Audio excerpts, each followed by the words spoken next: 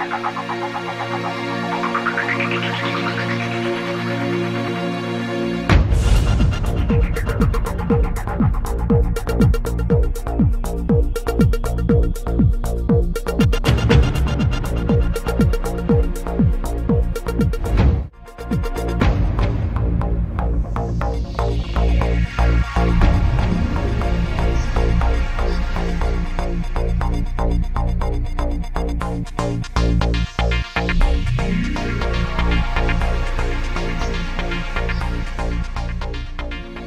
Ben ritrovati, un saluto a voi tutti, appuntamento con eh, l'editoriale del MAIG Notizie, Telemaig, programma 97 del digitale terrestre. Digitate 97 ed eccovi sintonizzati con l'emittente televisiva che ha sede in Acquaviva delle Fonti, nata nel 1980. Un caloroso saluto a voi tutti, cari amiche e cari amici telespettatori, a cui ricordo che potete inviare le vostre segnalazioni attraverso la posta elettronica telemaig.it oppure attraverso messaggi. Potete inviare anche foto, immagini con il famigerato Whatsapp. Sì, lo chiamo così perché in passato bisognava scattare la fotografia, bisognava sviluppare la foto e poi bisognava inviarla all'attenzione di un'amministrazione comunale, di un dirigente, di un funzionario nel momento in cui per esempio si, vole, si voleva mettere in evidenza un, uh, una buca, una segnaletica da cambiare, qualsiasi cosa. Oggi tutto è più semplice. La tecnologia ha fatto passi da gigante, ma non l'ha fatto all'istante ha fatto appunto i passi, i singoli passettini fino a raggiungere questa grande tecnologia.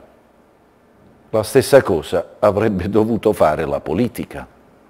Se questa tecnologia non nasce dal nulla e che quindi è frutto della genialità, della bravura, del lavoro della mente umana non si comprende perché.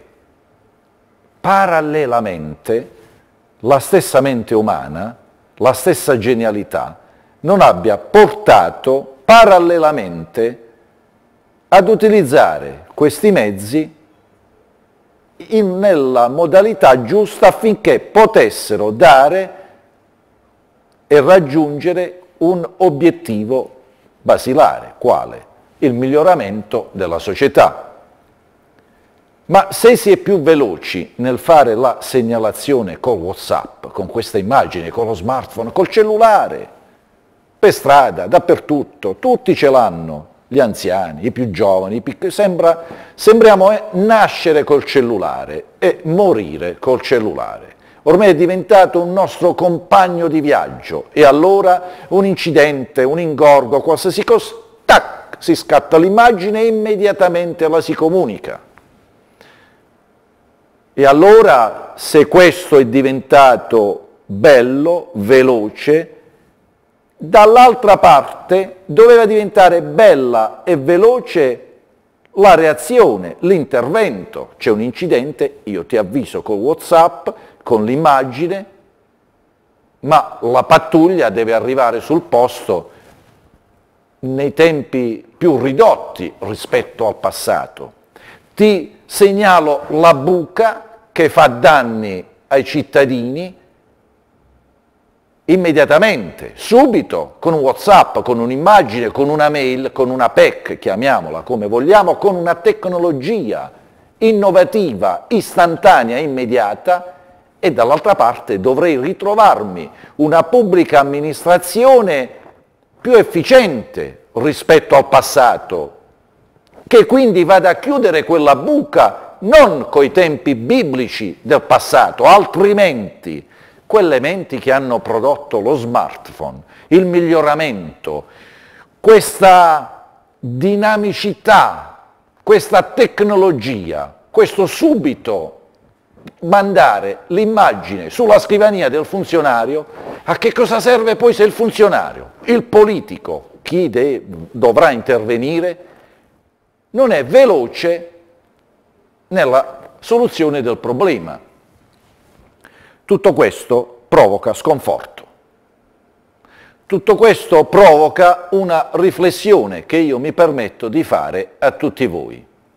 Si può parlare di benessere di una società nel momento in cui quello che noi abbiamo creato, quindi il miglioramento della tecnologia, non provoca un benessere sociale, non provoca il benessere dell'io, dell'io non inteso come io soggetto, ma inteso come la mia vita. Vuol dire che abbiamo fallito in quello che è che cosa? La nostra umanità, il nostro essere umano, la nostra genialità. A che cosa serve ad avere una macchina tecnologicamente avanzata, un'autovettura migliore, un'autovettura più comoda, con tutti gli optional, se poi dobbiamo viaggiare su una strada piena di sobbalzi, piena di buche, di un asfalto che non è tecnologicamente avanzato come dovrebbe essere.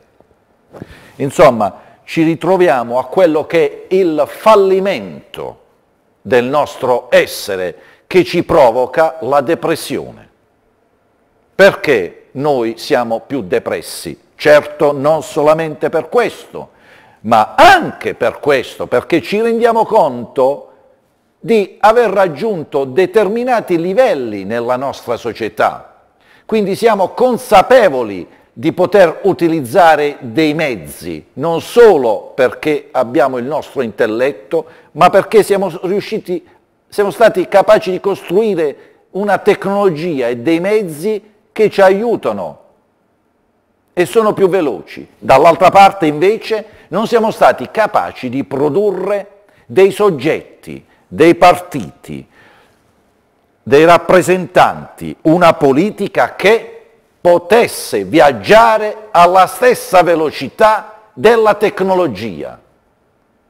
La colpa è nostra, perché la mente di chi costruisce un computer non è diversa dalla mente di chi fa politica. Non mi sembra che vi sia una selezione e che determinate persone vengano selezionate e messe da parte per fare solamente quella cosa lì. E poi tutti gli altri che non sono buoni li prendiamo per fare politica. Non è per niente così, allora l'interrogazione, l'interrogativo, l'osservazione che io faccio oggi a me stesso e voglio condividere con voi è per quale motivo quando andiamo a votare siamo così non bravi da scegliere le persone che non riescono a produrre una politica, un apparato burocratico efficiente come la stessa tecnologia che invece noi abbiamo prodotto? Le urne si sono chiuse, quelle politi delle politiche, quelle nazionali, ma poi si apriranno quelle del locale e quindi dobbiamo fare attenzione, non abbassare la guardia e quindi continuare a riflettere sul fatto che nost la nostra X è importantissima. Mai l'elettore cittadino deve abbassare la guardia a cosa? Al clientelismo, al farsi convincere che il voto debba essere dato a chi che sia per un favore ricevuto in cambio o chissà per qualsiasi altra cosa ricevuta.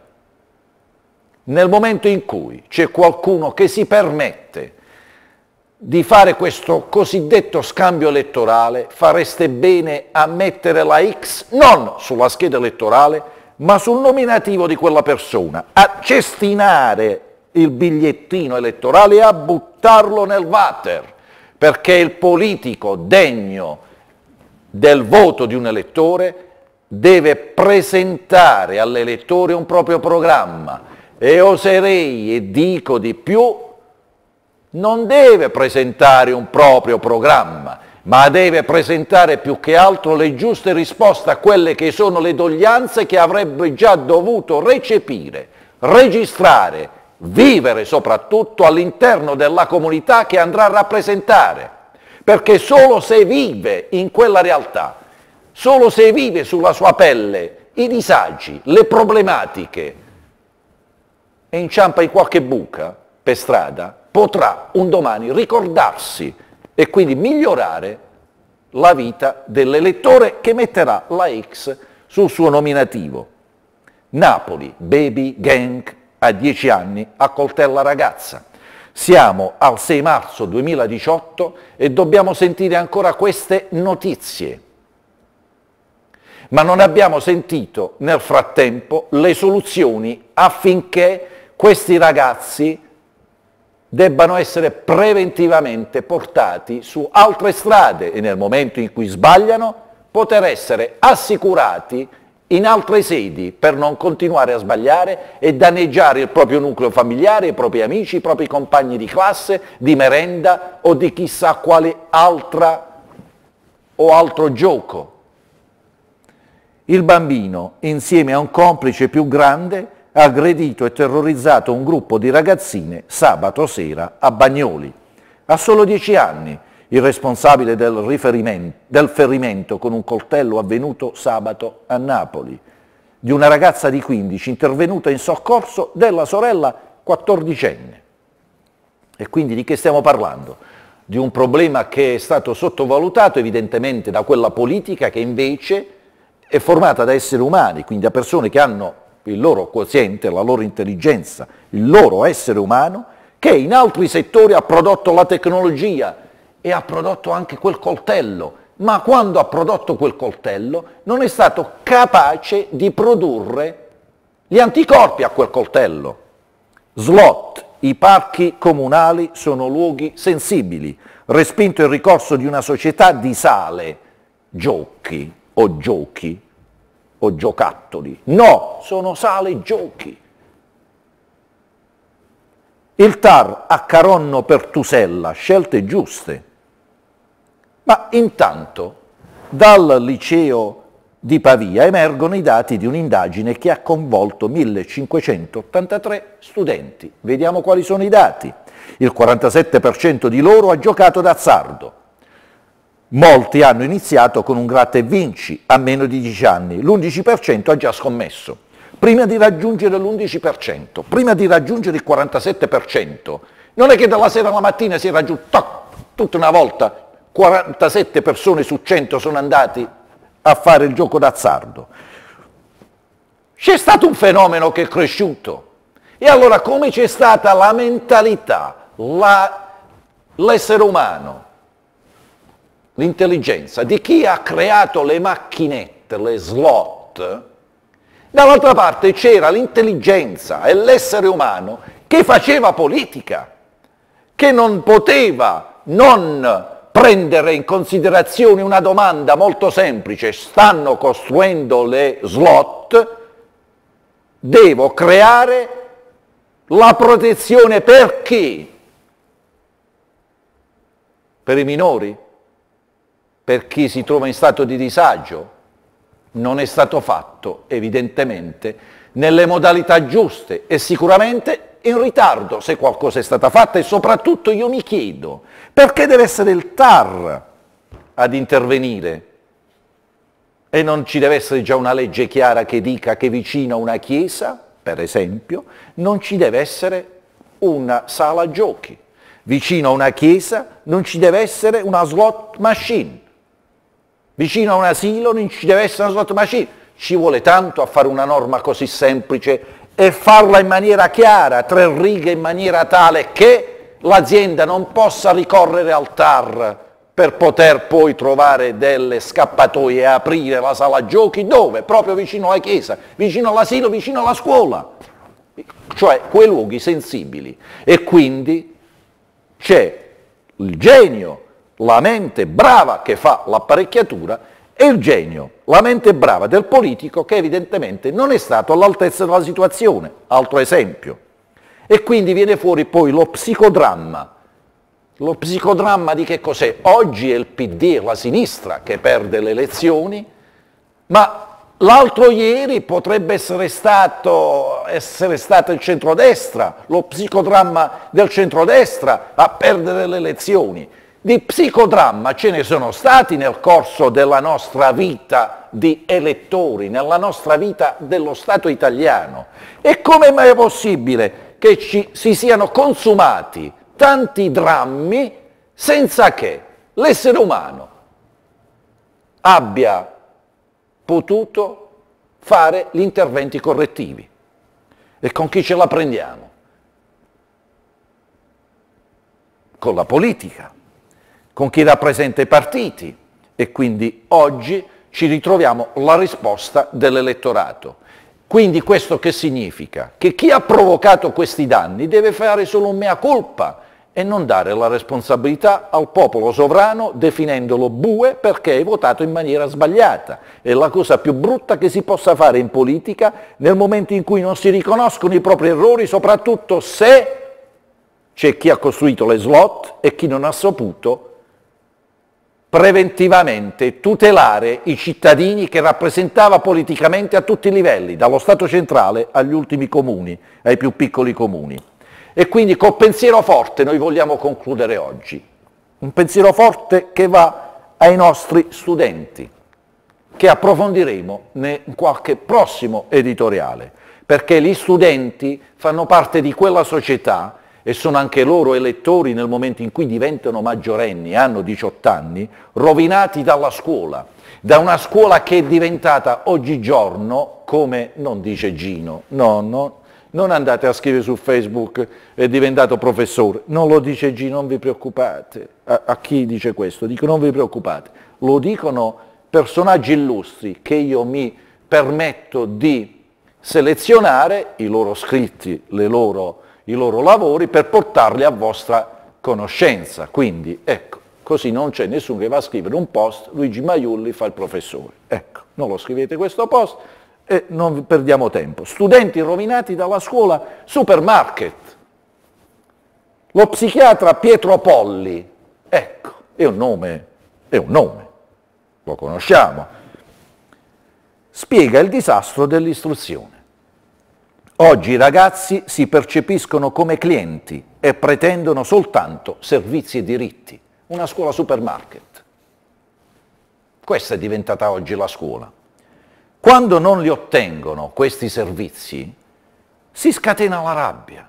Sì, il consumatore va a comprare la, il prodotto e se non gli piace, perché gli si dà un prodotto taroccato e si arrabbia il consumatore, perché io pretendo quel prodotto che sia ottimo. Così è per la scuola, quando non li ottengono i ragazzi si scatena la rabbia. Ecco perché si moltiplicano i casi di violenza in aula. È una spiegazione tecnica, frutto di lavoro di chi è un esperto, di chi è uno psichiatra. Non passa giorno senza che quotidiani e televisioni diano notizia di qualche episodio drammatico avvenuto in una scuola. Oggigiorno è come al supermercato, ha ragione, condivido questa idea. Il supermercato che deve offrire il prodotto migliore al prezzo più basso, più conveniente, affinché faccia concorrenza all'altra attività commerciale, all'altro supermercato. E che cos'è la scuola oggigiorno se non un supermercato nel momento in cui, e non voglio offendere gli insegnanti, ci mancherebbe perché non sono loro che hanno ideato questo sistema, ma la politica di cui parlavamo prima. E quindi mi chiedo e rifletto insieme a voi come mai è possibile oggi che le singole scuole, anche a partire dall'elementare, se non dalle scuole che io continuo a chiamare materne, debbano farsi concorrenza per poter attrarre a sé maggiori iscrizioni. Siamo entrati in una logica commerciale anche dove la logica commerciale doveva essere tenuta ben distante dai banchi di scuola e dalla mentalità di quei ragazzi che dovevano nascere e, nas- e nascono grazie al Padre Eterno, con i giusti valori che dovevano essere poi rafforzati nelle famiglie, nella scuola, nella chiesa. E può una scuola che è diventata un supermercato rafforzare questi valori nel momento in cui inculco nella mente, nell'animo dei ragazzi questa logica commerciale? Vi lascio con questa riflessione che approfondiremo in un prossimo editoriale. Grazie della vostra attenzione.